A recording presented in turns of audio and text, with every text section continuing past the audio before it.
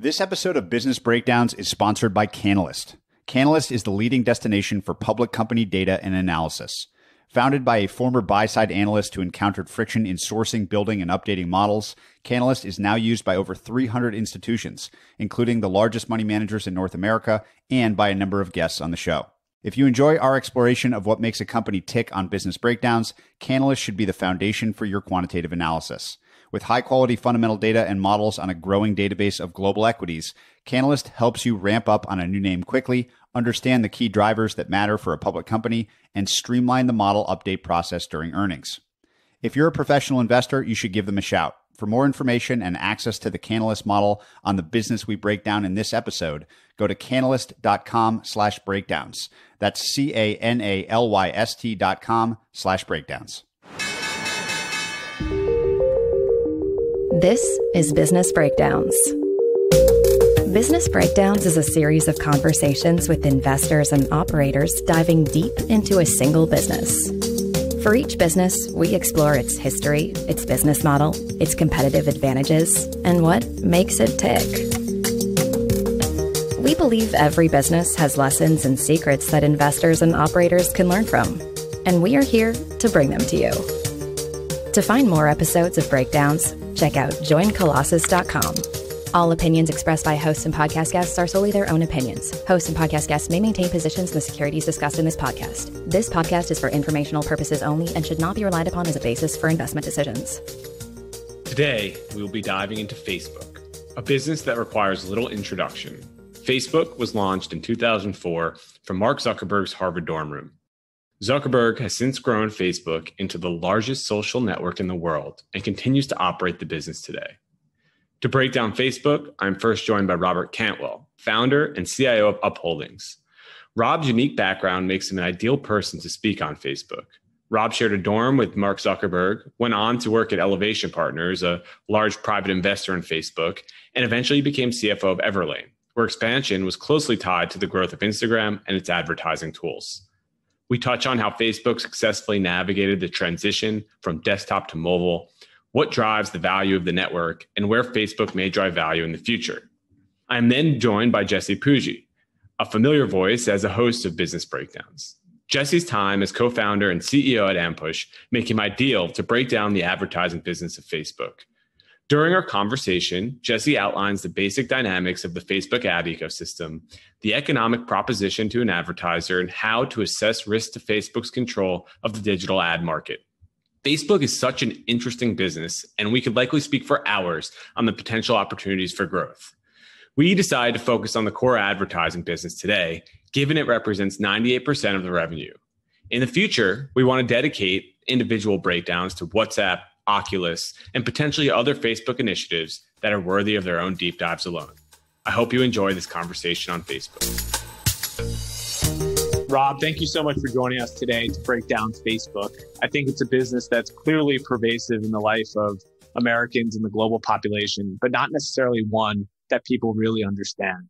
I think a good place to start would be if you could help us just quantify the size and scale and breadth of Facebook's business and then talk about how people interact with it today it's funny because it's a product that everybody uses, so everybody has an opinion about it. But that's just people focusing on the media side of the business, on the users, on the 3 billion people around the world, excluding China, that use some combination of their platforms. And when we're looking at this business as investors, we're much more focused on their customers. And so when we think about the scale of Facebook, we think about the 10 million businesses that actively advertise on one of their platforms. That 10 million number, that's about double what it was five years ago. The average business spends about $11,000 a year on Facebook acquiring or engaging customers. The average business grows that Facebook allocation by about 5 to 10% a year. And Facebook as a company is able to grow that advertiser pool pretty consistently at about a million new advertisers per year. So it's really simple 10 million advertisers spending $11,000 each and Facebook will do about $110 billion in revenue this year. And breaking it down just one step further, a little more than 20% of that is happening on Instagram. They have a few billion dollars in other bets, Oculus and marketplaces and other toys. And then if you look at a geography standpoint, a little more than half that is coming from outside the United States. And so if you kind of take a step back and try to box in what type of business Facebook really is, is it an advertising business? Is it a social network? Is it a media business? It kind of takes on this amorphous creation. What do you think the best way is to kind of describe what the true core business of Facebook is today? The business of Facebook is a media network. It aggregates viewers and attention and it sells that time to advertisers. So, in that respect, it's a very traditional media business model. But the web offers tools that are so much more powerful that the digital online advertising landscape looks quite a bit different than the traditional media landscape of cable television of yesteryears. As we look at the digital advertising landscape, there's really three big categories that we track. You've got social networking, streaming media, and search. Social networking, this is really where Facebook plays. So Facebook has more than 80% share. There's a second tier of players. You've got LinkedIn and Twitter. They've got about 10% share, and that's shrinking a little bit. And then you have this third segment that people are currently very excited about, which is Pinterest and Snap. They have about 5% share of social network spend, and their share is growing a little bit. Now, there's this second tier that we call streaming media. Facebook is not often compared against Netflix because Netflix looks and feels more like a traditional cable subscription because that's how they choose to monetize. But Netflix is a paid media company. So Facebook is not paying users to post, to interact with businesses, with people that they know. In the streaming media bucket, we look at companies like Netflix and YouTube and TikTok as competitors to each other because they are all paying for the content that is showing up on their platforms. They're choosing to monetize a little bit differently, whether it's through subscription or through advertising or Hulu that's confused and is trying to do both at the same time. But ultimately, we view streaming media as a paid content platform that's different from social network. And then the third is simply search, which is high intent based behavior, which is primarily Google and Amazon that play in that marketplace. So for today, we're really focused on social network ad spend and Facebook's dominant position within that. And so it's kind of interesting if you think about it, amassing 3 billion people. Bill Gurley talks about aggregating demand and the importance in the context of building a business. There's all this optionality kind of inherent in Facebook's business model, but the business has evolved in a lot of ways. And frankly, it's still somewhat of a nascent business, founded not all that long ago. And I think what's so interesting is your career arc in a lot of ways tracks adjacently to Facebook itself, given your experience as both an investor and an operator. It'd be great to kind of hear about the vantage point you had and how that impacted your view of the business today. When I was in college, Mark Zuckerberg was in the class beneath me. He lived on the floor above me. I participated in Facebook, but I didn't appreciate the magnitude of what was being created on computers on the same Wi Fi as mine. I was around there in the beginning. It was a cool thing to see because it worked so well at our school. And, and, there's the arrogance of Harvard kids where they're like, well, if we're doing something, eventually everyone else is going to do it. But that actually happened with Facebook. They said this works well. And they took it to another college. Everybody used it. And then they took it to another college. Then they took it to 20 colleges at once. Then they said, let's break out of colleges. Let's take it to people that aren't in college anymore. I think it kept surprising everybody that it kept being so successful with all these different audiences. Connecting it to my own career, the private equity firm that I spent the most number of years at the beginning of my career working with, Elevation Partners, we became the first non VC investors in Facebook.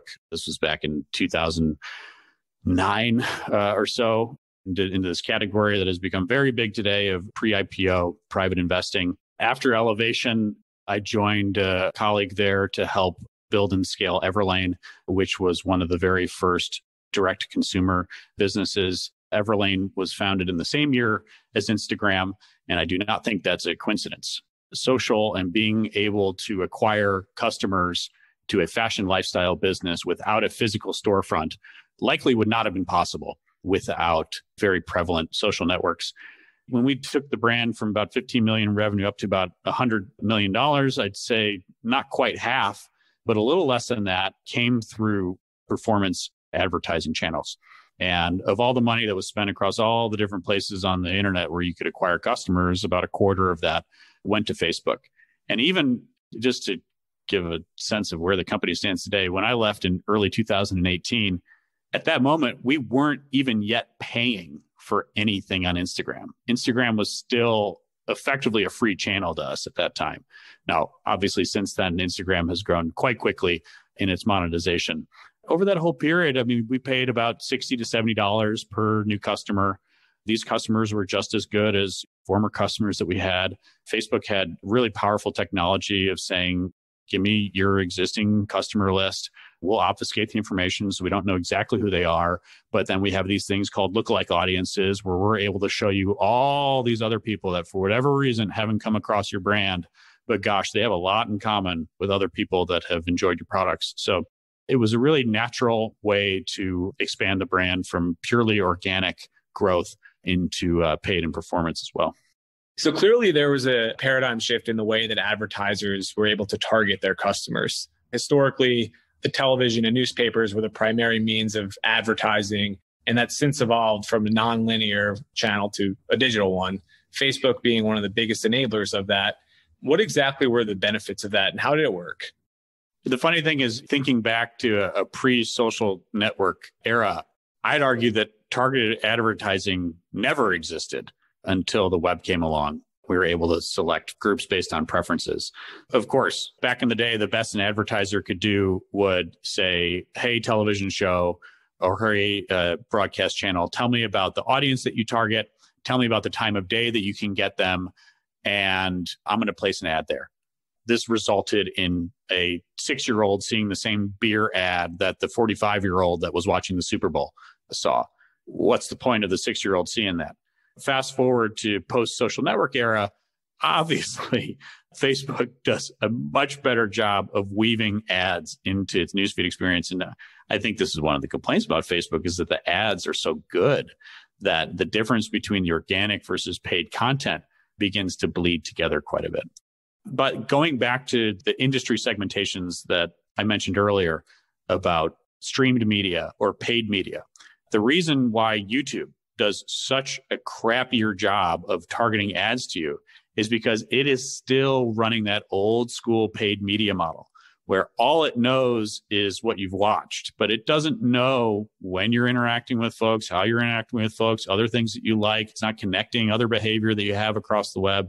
A social network, by definition, is designed to be a targeted advertising platform as opposed to a paid media channel which by definition is designed to attract people that are interested in that specific paid media. That's as much targeting as you're going to be able to do against that audience.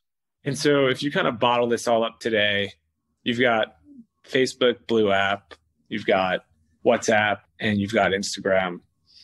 But people will point back to MySpace and suggest that having a social network alone is not enough. But clearly, Facebook has built something unique given the duration and the durability of its growth what is the true competitive advantage that Facebook has today that makes that moat impenetrable? They've done a few things. We keep talking about targeted advertising ultimately being the thing that makes their business so successful. Every successful business has some little flywheel that's cooking and spinning for it. In Facebook's case, they knew how important it was to quickly become the leading social network platform because the bigger you are, the more data you have. The more data you have, the better targeting you can offer. The better targeting you can offer, the more effective your advertising. The more effective your advertising, the more share of ad budgets you're going to win. And then the more share of ad budgets you get, that gets you all the way back to the beginning of the wheel again. And you've got more data going into the system. So Facebook grabbed that leading position and they're approximately 85% market share of social network ad spend has been rock solid for, I mean, at least five years. What were some of the things they did to become and maintain their leadership position? I think that's changed a lot over the years. Right now, going forward, obviously their regulatory positioning is going to be one of the things that helps solidify their position. But looking backwards, one of the first things was the frictionlessness of their self serve ad model. So one of the things that Facebook is so good about, I don't know if you've ever personally bought an ad on Pinterest or Twitter or Snapchat and Facebook. I encourage everybody. I mean, I've used Facebook forever. I've used it for recruiting. I've used it for customer acquisition. Their ad platform works for anything. They've invested more in their self-serve ad platform than any of their competitors. Facebook is the third largest capex spender in the S&P 500, behind only Apple and Google. They'll spend about $21 billion in capex this year. Their nearest social competitor, Twitter, is going to spend about a billion dollars. Setting aside any accumulated advantage that they've built over the years, this year alone, they have a 20x infrastructure advantage over their nearest competitor. And it appears, at least again, relative to that second tier of Twitter and LinkedIn, it appears that Facebook's lead is only still growing a bit over that second tier. And we'll see what happens over the third tier. Back to your original question that you know, being the biggest in a social network business where the business is targeted advertising isn't of itself their competitive advantage that they appear to be quite successful at sustaining. And I guess how do people think about the decentralization of the internet versus these walled gardens that Google and Facebook and Apple in many ways are building? And how do you guys kind of think about that in the context of Facebook? We think a lot about decentralization. And our experience with decentralization is not so much a technological improvement as a cyclical reality. And we've seen different business models perform differently when decentralization hits their industry. So, to use an example, someone that runs a store on Etsy that makes handmade candles or something, that individual, in theory, now has a set of very low cost tools. They have a Shopify platform. They can accept payments. They can accept money live with a Square Reader. They can drive traffic by going and acquiring ads on Facebook or building an organic audience. However, that candle maker will find that they're not able to generate the size of business and the margins than if they primarily ran that same product through an Etsy store. Because Etsy has aggregated the demand, they have built the search experience. I use this as an example of where, in spite of the tools being stronger than ever, I do not see decentralization having a really significant impact. Now, let's use another side of this, which is the entire financial landscape, which was traditionally regional banks with physical locations that relied on physical currency. Talk about an industry that's going to get walloped by decentralization. Where does Facebook sit in all this? Because in the future, we're all going to have neobanks, there's cryptocurrencies, we're going to be exchanging tokens when we're exchanging assets amongst each other. Eventually, real estate's going to get connected to some sort of non fungible token. So the entire finance world is undergoing a pretty big shakeup. Where does Facebook sit in with all this? This is where Facebook's positioned. They have these 10 million advertisers we've talked about. They have a very diverse set of advertisers. So Facebook's looking at this as well, we're still the place that people are going to have to come for customers unless someone can explain to me how the source of customer acquisition is going to get decentralized out of the place that has centralized the most amount of attention to new customers. What's happening with all of these other industries that are becoming decentralized is it's sending them to Facebook and Facebook's various properties as a customer acquisition channel. I think the last 12 months or so painted a very clear story for how flexible Facebook's platform is, and much more so than Google's when Corona first hit and the shutdowns were first happening, everyone assumed, well, ad dollars are going to dry up. Well, travel ad dollars dried up, but e commerce ad dollars came rushing in shortly thereafter. And Facebook's revenue, when you looked at it on the headline, sure didn't look like last year had a lot of disruption in it. Google was a bit more exposed to travel. It wasn't so much they were more exposed, but it was more that they weren't as flexible to taking in ad dollars from a new industry. And they're also losing share very rapidly to Amazon. So there's other things going on there. But I thought that it represented Facebook very well as to how nimble the platform was used by different industries during a period of time when there was one of the most rapid economic shifts that was taking place. It seems like in the internet world, these kind of regime or platform shifts are when these companies are most vulnerable. And clearly Facebook met a big task in shifting the platform from desktop to mobile and successfully navigated that shift. But it's likely in the next 5, 10, 15 years, they're going to see numerous types of form factors that they're going to have to address. How are they thinking about that today? The biggest risk for Facebook, huh? Well, this is an area where Facebook is now, I believe, the largest founder led company in the world.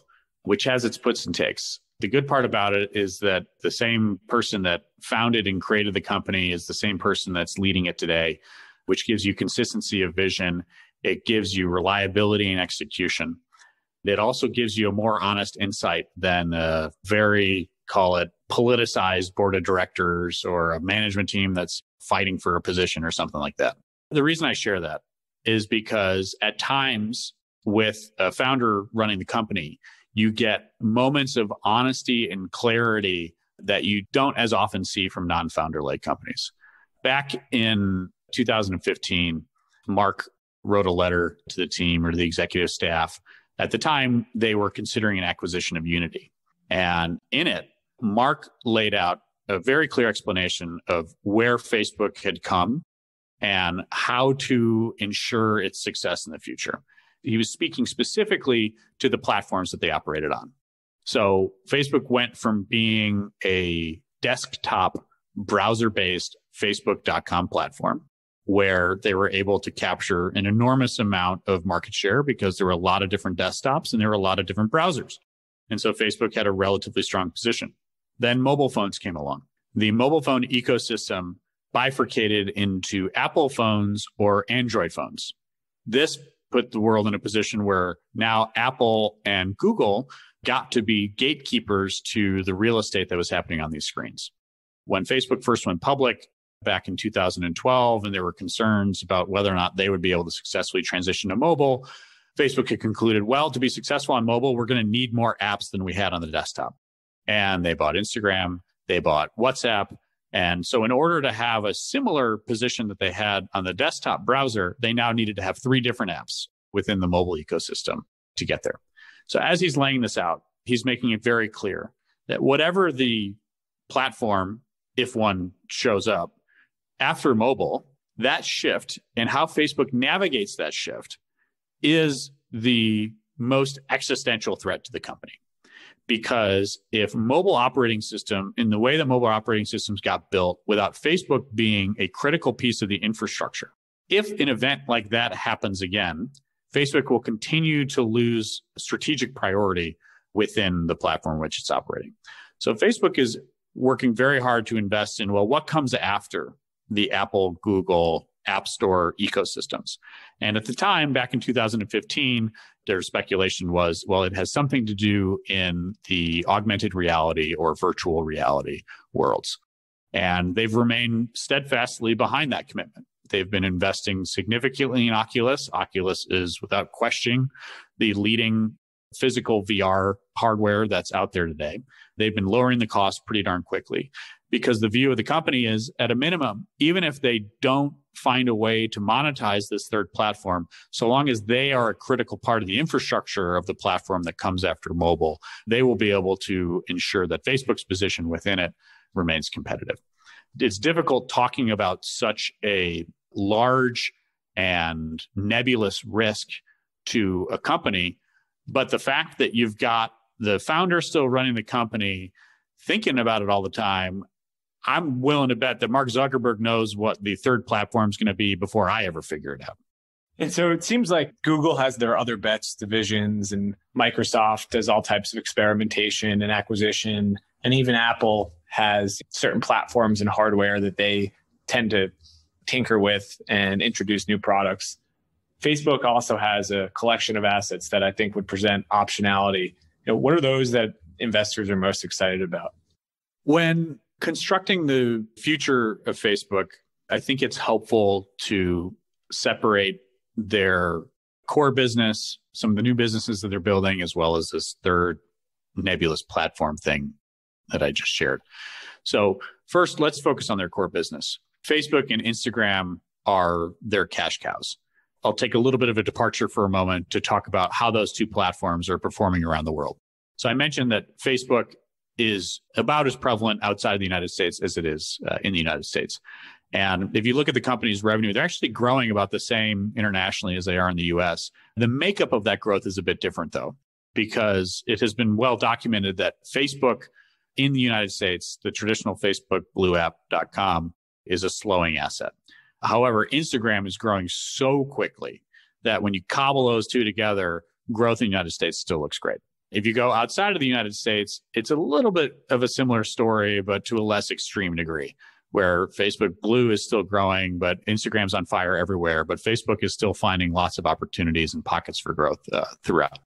So those two businesses still have very long runways. So some of the new things that Facebook is doing is both strengthening and monetizing those platforms further. So Facebook Marketplace, shops, Instagram commerce, those are ways to further monetize the strength of their existing network. I'm also going to bring the streaming media component back here because TikTok is getting a heck of a lot of attention right now, which is in the streaming media category. Now that Facebook is competing here with the scrolling short videos, Facebook is putting a toe in the water of paying creators for content. I think that is the angle that could change the look and feel and experience of the Instagram and Facebook platforms the most if Facebook were to become more successful in the paid creator media segment. It's an experiment today. TikTok is just so damn successful, you can't ignore it. So I think that is the area where we might be surprised by the amount of change we see over the next few years. So that's their core business. WhatsApp is close to their core business in that it is used as an encrypted communications platform, but it's different in that Facebook isn't operating it like a traditional social network and bladdering ads all over it yet. Clearly, Facebook has had a couple of stops and starts with how they're going to monetize the WhatsApp ecosystem. They have previewed that they have 50 million business users on it. So I think they're teasing that it may become more of an enterprise like product as opposed to a traditional social network like product. And that would mean building features like payments, customer service, the mini apps within the app. So they're viewing it more as a potential super app of services and tools as opposed to social network. But again, that could change. It's not something that's making a lot of money right now. My potential speculation for WhatsApp coming back to the beginning of the conversation for a second, we talked about the 10 million advertisers on Facebook, and they add about a million advertisers every year. Facebook could run WhatsApp as a customer acquisition funnel to their core business and say, you know what? It's really tricky to monetize this WhatsApp ecosystem without pissing off users. So, you know what? We're going to run this thing at cost, but we're going to use it as a very high quality funnel into our other core business. When you're ready to scale your business, we've got an ad platform for you. That's my personal maybe on WhatsApp.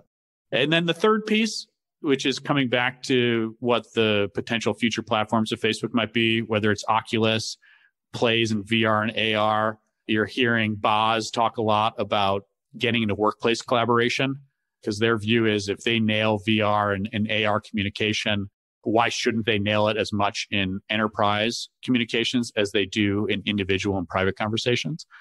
So there's a lot to clearly wax philosophical about where Facebook can go with its various pieces, but that's how we break up the components. The thing that always I found interesting about Facebook is it's kind of the one place on the internet where everyone has their real world alias in parallel to their digital world alias, as opposed to all these other social platforms where there's anonymous, pseudo anonymous message boards. And as a function of that, they have all types of information on you and who you are explicitly. And there's that old adage, you know, if you're not paying for it, you're not the customer, you're the product, which if there's any criticism of Facebook, that's the key point that they're over monetizing their users and they're, they're not providing value added service. How do you kind of respond to the belief that Facebook is abusing the power they have as this massive social network? I think it's useful to look at history here a little bit. Again, we have a founder like company with the same founder that's been running it the whole time. The original culture of the company was move fast and break things. Even though they've stopped saying that and have publicly said they've walked away from it, the same guy is still running the place. So I believe that Facebook continues to move fast and continues to break things until it's not founder run anymore. Now, looking back, I remember a time not so long ago, this was early when Zynga was really catching fire, where Zynga had basically found a way to manipulate the Facebook newsfeed. The Facebook newsfeed used to be predominantly ads for getting into Farmville. It sucked. People started to walk away from Facebook. There were a lot of people that didn't care about Farmville and were getting really annoyed at all the promotions that they were running to get you to download the app and play the game and ultimately spend money. This was not a government regulated issue, but Facebook acknowledged it. They were making a lot of money from these gaming sites advertising on their platform and they shut it down. And they said, you're not allowed to run these types of promotions for these types of games anymore. And it's going to suck for our revenue for a bit, but that's okay. We're doing the right things for our platform long term. So it is a crude but related analogy to how the Facebook platforms got taken over by political campaigns over the past handful of years. It is clear that there has been a raft of misinformation that has been proliferated across platforms by any and all and interested parties and things like that. It's a much bigger problem to solve because Facebook is a much bigger company today than it was when it was just having to deal with Farmville advertisements. So I view it as a much more complicated version of that problem where all of society is now involved and the government's going to get involved and they're going to make rules around social network and social network advertising. They're going to be careful about the full extent of those rules because clearly social networks are very powerful tools for politicians to use when they're running their campaigns. So I think there's a great negotiation that is taking place between the public, the government, and the company. But I have no reason to believe that Facebook's intentions are to ruin the world. So I think the natural response is if you kind of look at the cash cow businesses of Facebook today, recognizing that WhatsApp is hardly, if at any, monetized.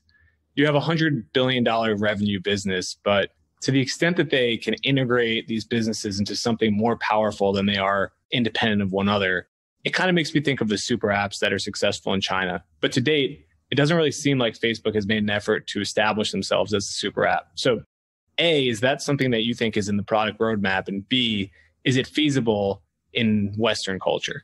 I like that you asked the question because for me to portray Facebook and Instagram simply as cash cows to fund other initiatives at Facebook's is probably a gross misrepresentation of the potential of those two platforms.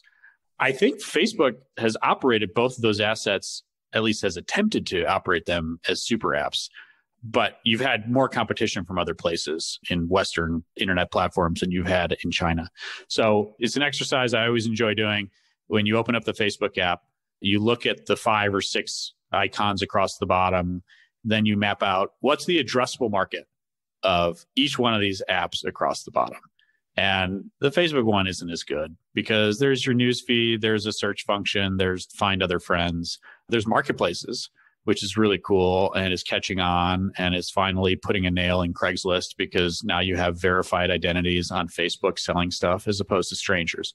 But Instagram is really where stuff is cooking because they've got there's newsfeed, they've got a search bar, they've got the TikTok competitor, they've got shopping.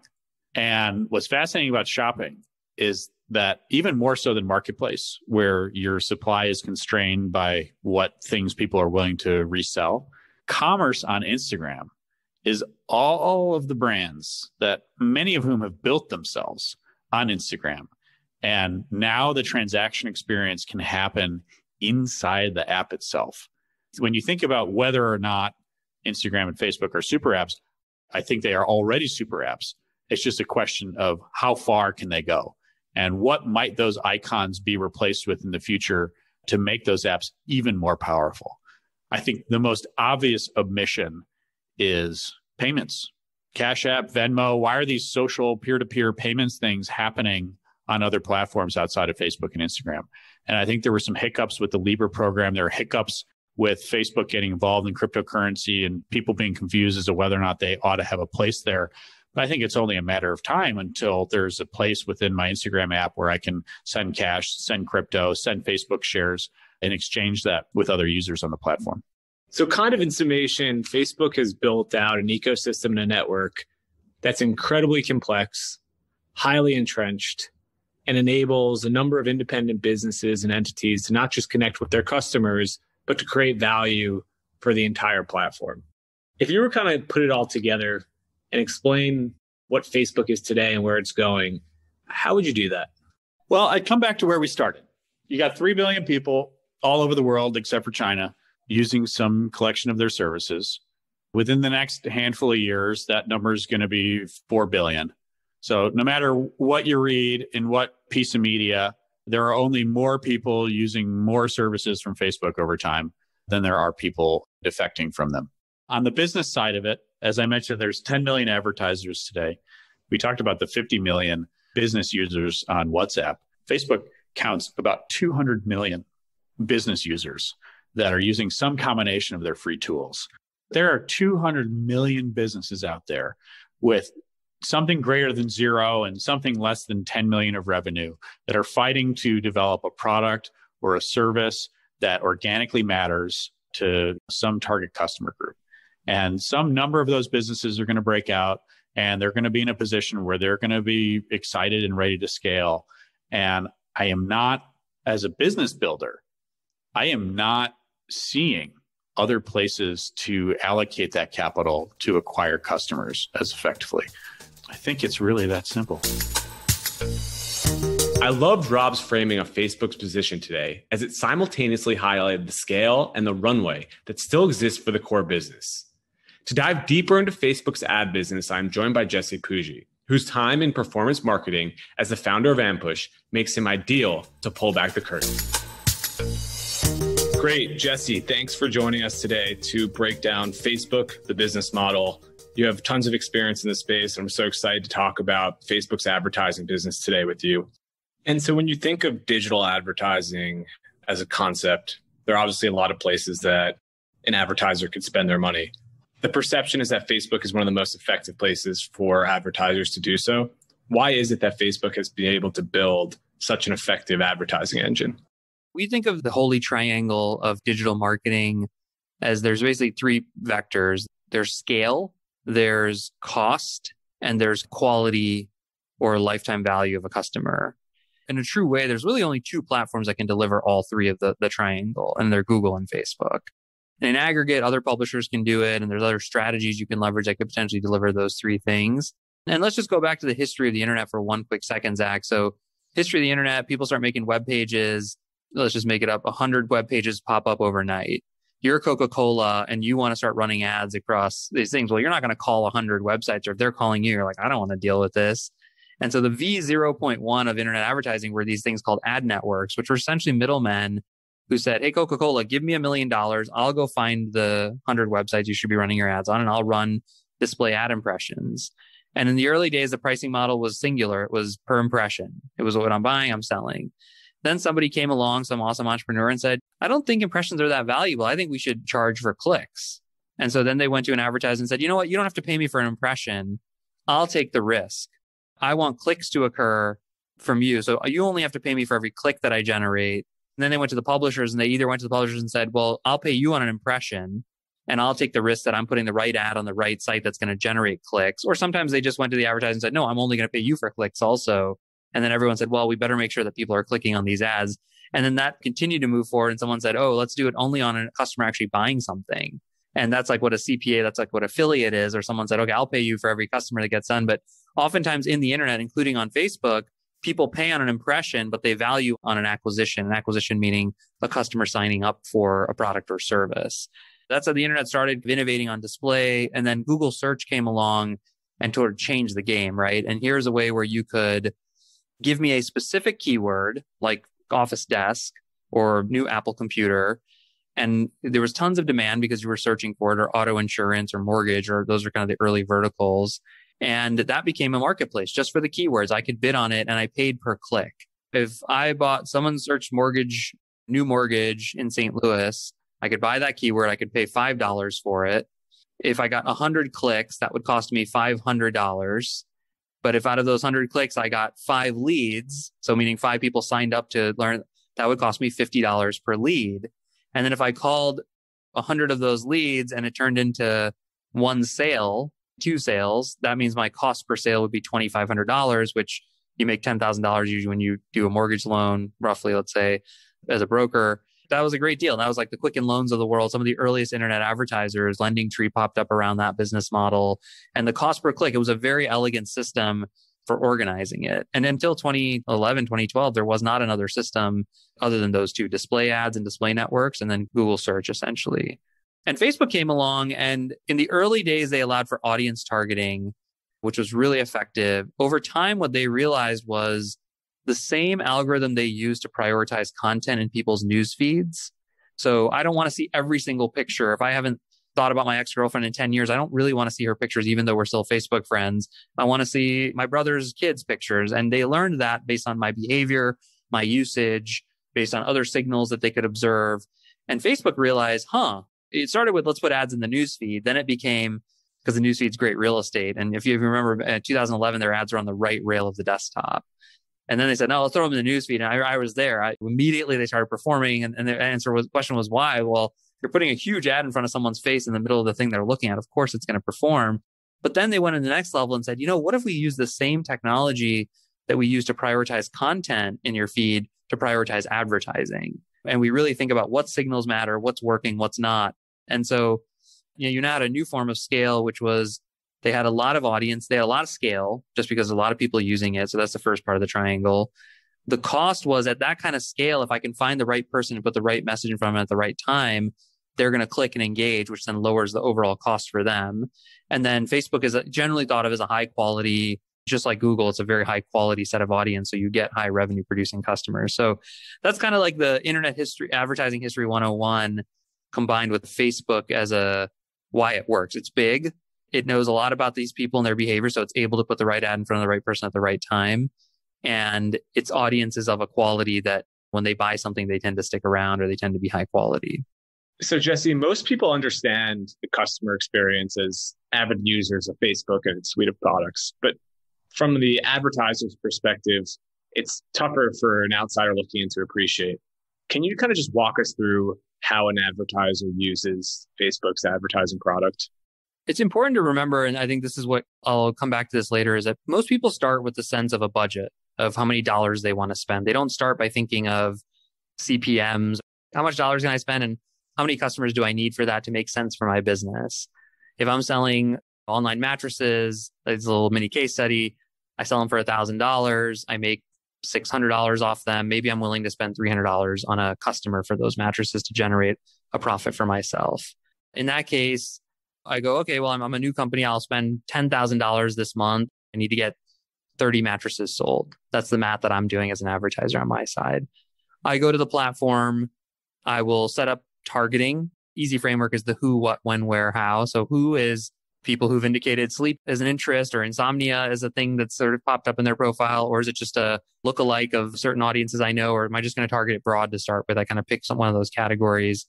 And then I come up with a few ads and I go, one shows a person looking really tired and saying, man, I wish I had a new mattress. The other one says discount today available. I try different creatives. And then I send those to different landing pages that try to sell the product. And so that's almost like what an advertiser, and I say, here's my budget, Facebook here's my target goal I'm trying to accomplish. And in the old days, it used to be they didn't care about your goal. They didn't understand it. Now they actually take your goal and they try to fill the ad in your inventory that your budget you're willing to spend for that certain price. And you go into, there's an interface that a lot of people haven't seen that looks like a spreadsheet essentially that you go in and upload all these ads and these combinations and you hit a button that says go and they start showing those ads to their user base. And then you start to see how many impressions, how many people saw my ad, how many people clicked on my ad? How many people purchased my product? As an advertiser, you go, well, I spent a thousand dollars. Did I sell at least three or four mattresses? If not, let me pause. Let me stop spending money and let me try some different ad combination. Let me try to find out. And you're searching for that combination. They're also trying to put you in front of the right people to sell your product. And there's sort of this interaction going on that grows it. When it works, I'm selling a mattress for 250 a pop. I want to spend as much money as I can because that's going to drive my business forward. And so if they found that winning combination of right ad in front of the right person at the right time, I'm actually going to put more just nominal dollars onto the platform. And if you just think of it as the same inventory, the CPMs for a bunch of people doing that simultaneously, the CPMs will go up. Rising CPMs are actually a positive signal that the marketplace, that advertisers are finding value in the marketplace because they're con- consistently willing to pay more for a specific impression. It means that the matching of right place to right person at the right time is working. And it's worth spending a minute on auctions. So there's an underlying auction mechanism taking place here. Again, think of it like a auction you've seen on a movie, right? There's one person selling a product and everyone's going, oh, I'll pay 50 for it. I'll pay 55. Anyone 60, 65, 60, 70. Google's a more straightforward auction. If there's a keyword they're willing to auction off the spot for it. It's called a second price auction, which means if I'm willing to pay a dollar and you're willing to pay 50 cents, I will pay 51 cents and I'll be above you. So I don't actually pay my bid. I pay one penny above the next highest bid. That's called a second price auction. Facebook has a different auction, which I won't go into all the dynamics, called a VCG auction. And I can't remember the three people's names who that stands for, but it's a different auction where everyone displays their willingness to pay and the auctioneer decides what the optimal outcome is for everybody in that situation. It's known as a VCG auction. It takes everyone's willingness to pay, what their dollars are, how much they're willing to spend, and it sort of allocates it out in an optimized fashion. And that's sort of the core of Facebook, I think, switched to that in 2013. They started as a second price auction like Google. So the auction mechanic is also very important for allocating the right inventory to the right advertiser at the right time. And these things all work together to generate the results that all these amazing amount of revenue that comes from Facebook's advertising. So taking a step back, I think about Facebook's advertising product as a, a highly liquid, highly efficient marketplace at this point. And so if you were to take a step further and think about that in the context of how the internet advertising market continues to get more and more efficient, there's still variation in in the cost per impression at any given time. It seems like some months they'll be highly profitable or the revenue per impression will be super high for Facebook and other months. What is the dynamic that's impacting bidding on certain keywords or customers? How does that work? Well, let's zoom out kind of at a high level. Facebook has a supply of inventory pre Facebook stories and Instagram stories, that supply was relatively fixed. It was huge, no larger supply on the internet, but it was growing at, I don't know, 5, 10%. It wasn't growing that fast. Stories obviously changed that because anytime they can introduce a new form of inventory, that's a massive opportunity for them and for the internet at large, frankly. But let's just live in a world, just for the sake of argument, that impression volume is fixed. Advertiser demand at a certain price for their product is unlimited. It's insatiable, right? So if I'm a contact lens subscription, I'll pay, I'm making up numbers, $50. If I'm a meal kit, I'll pay $150. If I'm a mattress company, I'll pay $300. I'll take as much inventory for that price as you can give me. And so if you think about the supply demand curve, there's a term in between supply and demand. It's not pure supply and demand, which is, which essentially is yield, which is how well can Facebook take their inventory and put it in front of the right person at the right place at the right time. And the extent to which they can do that they'll be able to generate a better and higher CPM. There's always a fun question of how high could that CPM go? One of my favorite thought exercises is like we work with some auto insurance businesses and they're happy to pay $1,000 for a policy. You give them a policy, they'll pay $1,000, assuming the person's legit and reasonable credit profile, all that stuff. Wave a magic wand and deliver a thousand impressions to the exact right people who like this auto insurance, Pujji's auto insurance, and they love my auto insurance company already. And I know that somehow, and they all need a policy right now because they're all buying a car at a car dealership. And my click through rate was 100% and my conversion rate was 100%. So a thousand impressions translates into a thousand policies. What would I be willing to pay for that CPM? I'd be willing to pay a million dollars for those thousand impressions.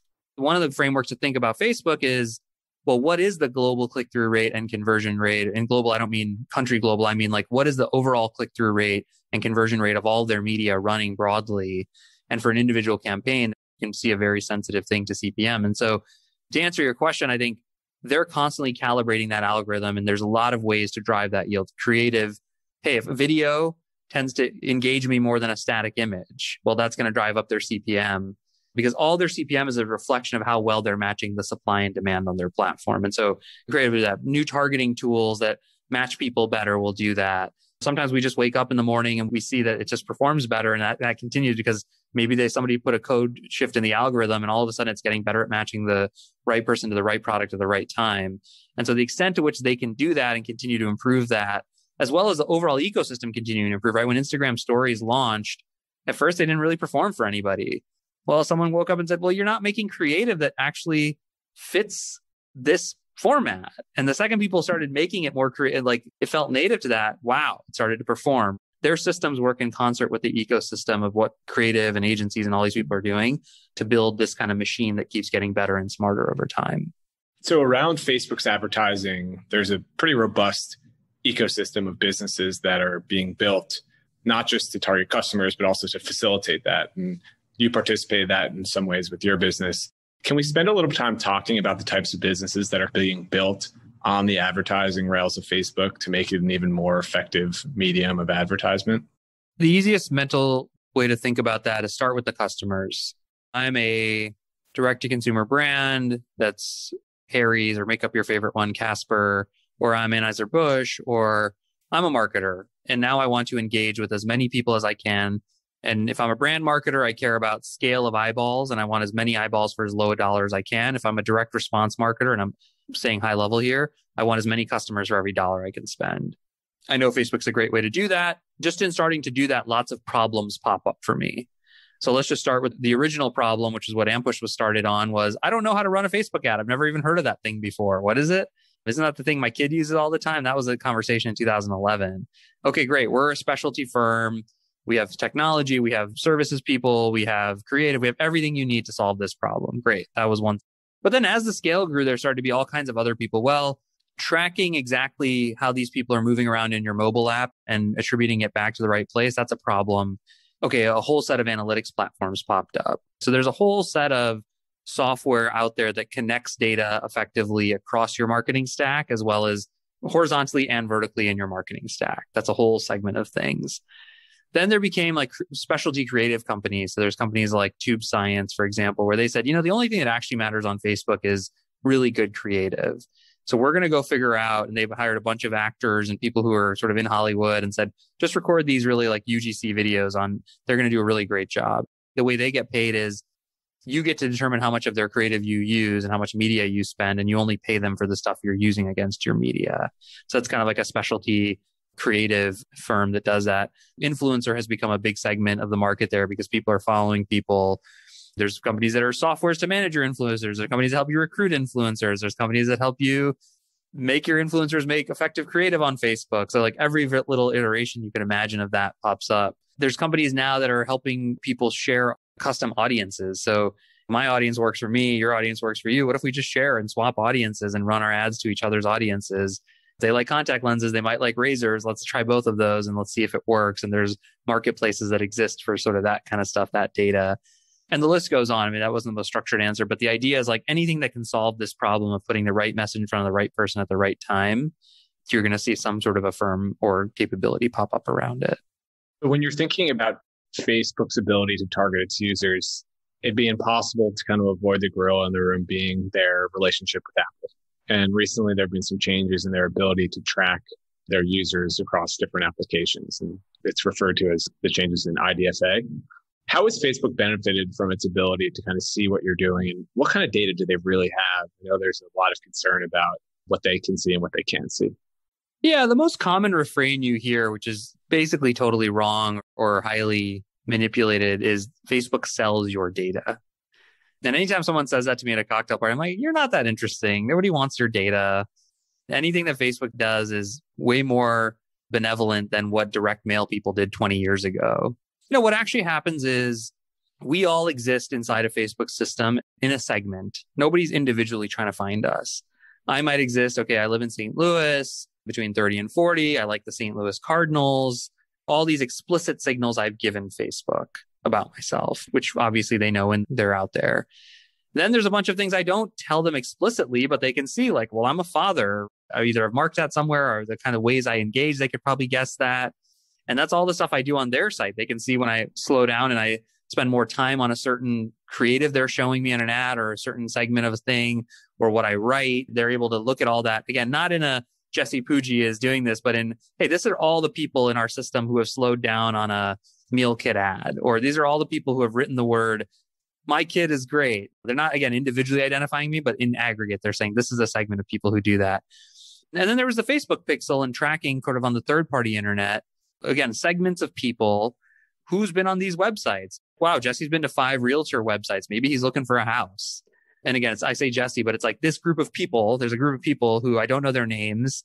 They don't know my name explicitly. I'm in a hash from a number basically and a bunch of numbers and all these bunch of numbers in a system that no human being is looking at, by the way.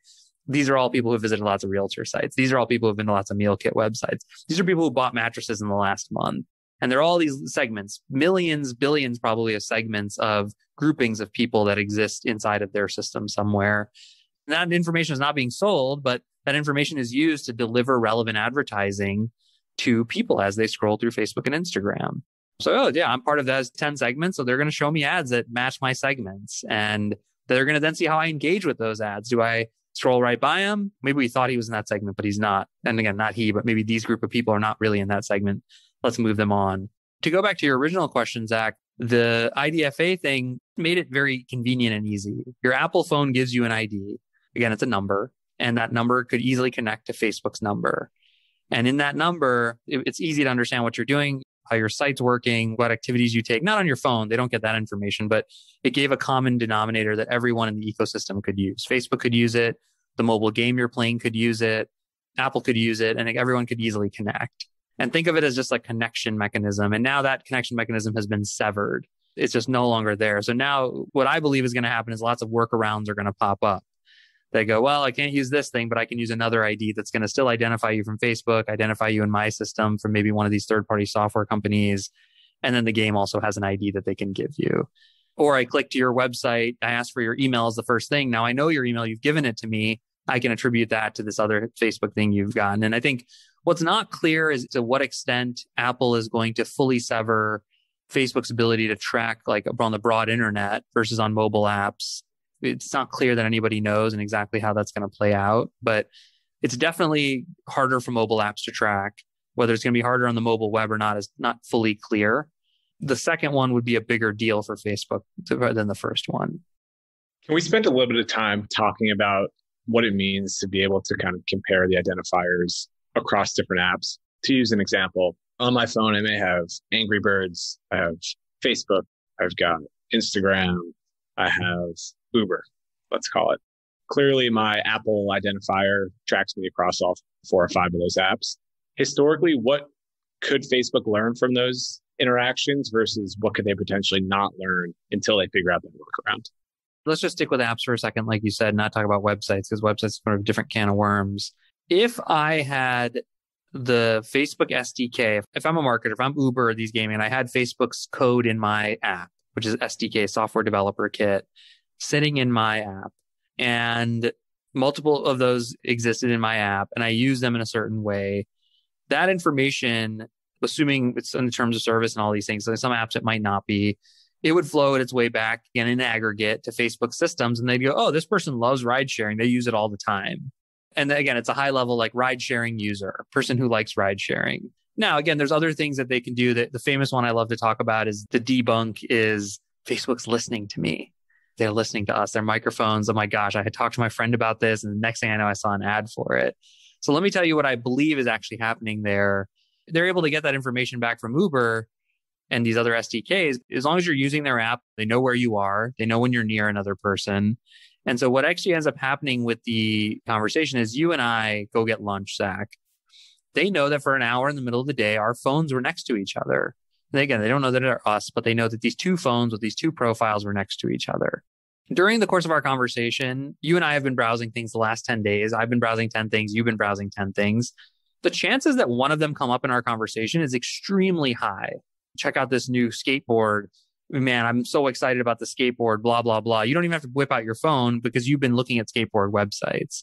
So then they just go, yeah, let's give this a try. These two phones were next to each other for a really long time some of the stuff you were browsing, why don't I show it to Jesse? And let's see if he engages with it. Now, if we talked about it and then I see it, then of course my conclusion is, oh my God, they must have listened to our conversation. And but they're not actually, there's no microphone on. They're not parsing our words. They just know what you looked at. They know what I looked at. We sit for lunch and then they go, let me try to show these guys stuff that they've each been looking at with the chance that they, that happened. And the chance, by the way, that leads to a high conversion you might have told me about something. Now there's nine other things you looked at that didn't come up in our conversation that may also show up in my newsfeed, but I wouldn't attribute them to our conversation because we didn't discuss it. I'm not 100% sure that's what it works, but I'm 90, 80, 90% sure that's what's going on when people think Facebook's listening to them. But it's fascinating in the juxtaposition of the way that advertising used to be able to reach us. If you think about the experience on television or in a newspaper, it was pretty much spray and pray. You knew that the NFL was watched primarily by a demographic from 20 to 45 year old men. And if you wanted to advertise for Viagra, it seemed like a good place to target. Obviously, now with the information we have, we can make advertising a lot more relevant. But the way that we spend our time and attention on the internet is also shifting. So Facebook is going to start to see more and more competition from other apps and internet websites. What is the state of play in the landscape of competition for digital advertising today? Kind of goes back to the first principles that we just discussed early on, which is that triangle and who can make it. And a lot of that starts with there's these emails that have been floating around about the Instagram acquisition and how astute Zuckerberg was to go, you know what, this thing is growing and it's kind of hit this threshold. We should buy it. We should buy it because it's a good app that uh, once you have that network effect, it's very hard to peel people off that, which he knew because he built a version of that with Facebook.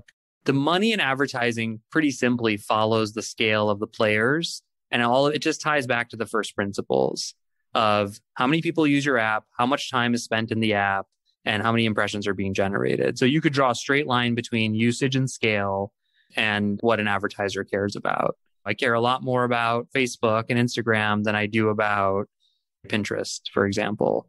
And really, the way people approach these things in, as a marketer is Facebook, Google, all this other stuff I'll test, affiliate, maybe some other stuff like email, but those are the categories. Like Facebook is most of these D2C brands and a lot of companies that are doing direct response, it's anywhere from 40 to 70% of its revenue comes from Facebook. And by the way, inside of their Facebook campaign, 60% of their scale comes from like one create one ad creative that seems to be resonating in the marketplace. Is that at any given time or does that just happened to be?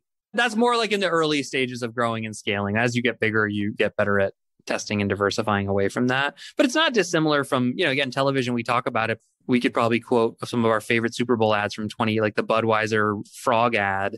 So it's not that dissimilar from what used to happen in certain mediums of advertising. But yeah, I think you're absolutely right. The competitive landscape is Facebook, Google, everybody else. And the way that those guys will break through is not, has almost nothing to do with advertising. And Twitter might be one exception to that, but has everything to do with scale of their platforms, eh, both in terms of users as well as time spent. So, if you were to map out a scenario where the Facebook advertising business is no longer as strong as it is today, what would have to play out to make that a reality?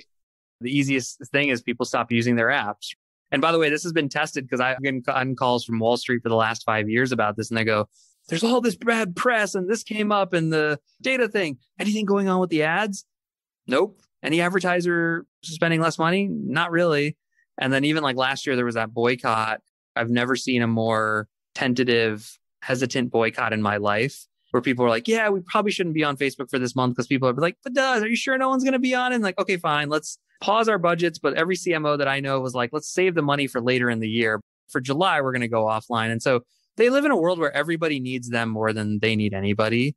Well, it's a hundred billion dollar top line business. And I think their biggest advertiser, it's somewhat out there in the internet is probably like spending 100 to 200 million dollars a year. So their largest customer is 0.1 to 0.2% of their business it's just crazy to think about that. To go back to your sort of bear case question, it's people stop using their app. That is the real thing that would drive or regulated out of existence in the sense that all of a sudden, like targeted advertising or any sort of data being used in advertising on the internet is no longer allowed. That would kill them, but it would certainly impact their revenues very meaningfully. Those are probably the two most obvious scenarios. People, it's not cool anymore. Some other app beats it hard to imagine, but like AOL once was the big thing, right? And so Facebook, Instagram, and they've done a fantastic job of buying the next thing, generally speaking, and fueling it with the right resources and all that. Or somehow regulation gets into play and screws up their ability to work. And for what it's worth, the second one I don't think will happen because customers and consumers, as much as people talk about it and politicians talk about it, nobody cares. It's just a nuisance. It's annoying. But if people actually cared about this and actually didn't want relevant advertising, we would know very fast we'd actually figure that out. We don't even need regulation. The marketplace, in my opinion, the marketplace would speak for itself and say, I don't like this. I don't want to use this app. But if anything, the marketplace, both for customers, users, and advertisers, has told us the exact opposite, which is like, I don't care what the press says. I'm going to keep using this thing. So, inversely, it seems like the thing that's the most positive for Facebook would be the ability to get people to spend more time in their app. And historically, it hasn't seemed like commerce or the ability to transact has been a focus of Facebook, but it's clear that they're starting to offer more tools for businesses to actually use the rails of Facebook to buy and sell. And when you think about the relevance for direct response, it could be a tremendous opportunity. How do you think that commerce plays into Facebook's story today? As you said, a massive opportunity for upside for them. There's sort of like three pieces to it that I think are very meaningful. So the first one is if you go back to the math equation in my example of the, the million dollar CPM, the more you can bring it on platform, presumably, the more you can control if you're Facebook, the higher click through and higher conversion you can generate. Why? It's just less friction. I don't have to click to a totally new experience. My browser window doesn't have to open up. It can be instantaneous. I can shop it fast. There's this famous stat about Amazon, but it's true for every website that I think for every like millisecond their site loads faster, it means 10,000 in sales. Same thing is true for click throughs and conversions. The faster all of it happens, the faster. So that's one version of it. But even the creative things you could do, it no longer has to feel so linear where you see an ad, you click an ad, then you go to a website. Maybe there's a single click and then that immerses you in an experience. But all of that allows them to improve yield per impression. And the higher you can get yield per impression, the higher overall CPMs generates and more volume and lower lower cost customers that an advertiser generates. And it generates that win win win. So that's number one. Number two is this whole tracking thing. In some ways, if they can keep you all on site, it's not really an issue. The signals that they use from you, it's all their first party data. So if they're no longer relying on third party data, either from advertisers or having to go through orifices like Apple, great. They can see all the data, they can manage all the data, so on and so forth. They can control it. And so I think that's a secondary and very important point. The third thing is that I think it allows them to create more options for solving industry and customer problems.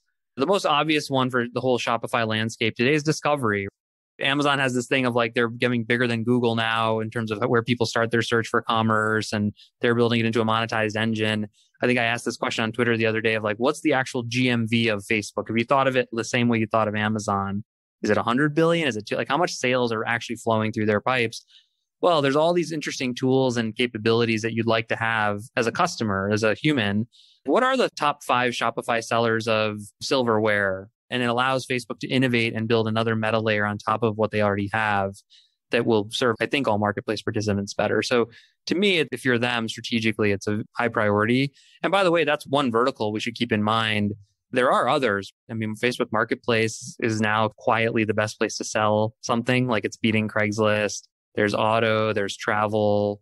And those things, you have to think of those. If you're a bull on Facebook, you have to think of those things as Mm-hmm. very, very basic experiments that are taking place. We've sold our couch on it, sold a secondary lease to a car. Like I had a car that has a lease. They have the systems. Oh, is this a real car? Give me your VIN number. It's just the beginnings of like, man, they could have an auto marketplace. Why couldn't they? Right. So again, if you're a bull, you're in the second innings of this whole thing and things flowing through it with real identity, with all these other things that people have been talking about forever about Facebook. It's interesting when John Malone was asked to reflect on Netflix, he talked about the fact that they had your payment information. And once you have the payment information, you essentially win. Cable for years had a recurring payment from their customers. And to date, Facebook hasn't made a explicit effort in getting your payment information or even doing much in the way of payments at all. And so to your point around marketplace and auto and some of these shopping experiences on Instagram, once they have access to your wallet, it really does seem like it could potentially change the dynamics around everything. Yeah, I don't see why not. And biggest challenge if you go to the bear case is like people use them every day and people don't trust them. And I think them reflecting on that and thinking about how to build that trust, almost like from a PR perspective, would be incredibly valuable because that's probably one of the things getting in the ways of them introducing this payments thing more broadly. But, you know, there's that story. I don't know if you've used it, but the Facebook portal, it's a really nice product. It's cheap, it's effective. We bought it during the beginning of COVID. The kids could see their grandparents, and my parents can read them a book through it, a bedtime story. It's a pretty cool. But I think the number, if you ask people, and I think even they publicly talked about this on Twitter, I think Boz has talked about it trust is the biggest issue. People don't want that thing in their living room from Facebook specifically. And so to sum it all up, today Facebook is a business with over three and a half billion monthly actives, doing a hundred billion dollar run rate, 20 to 30% top line CAGR. Opportunities seem endless. What is it that at the end of the day is the most important thing to Facebook? And as someone who's both an operator and an investor, what can we learn from the evolution of Facebook over the course of the last decade? I think the most important thing for them is to create value for their user base.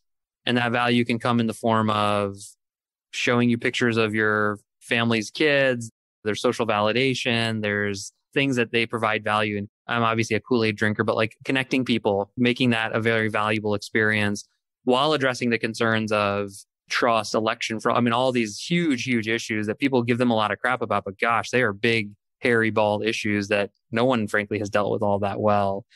So I think getting it right, I think getting that product experience right and making it work for people. And I think if they can continue to do that, people keep showing up. And then that's sort of the core, that is the engine of the business. And then obviously wrapped around that, the drivetrain, if you will, right? If that's the engine, the drivetrain, for now is a massive, largest advertising business on the planet, I think, outside of Google.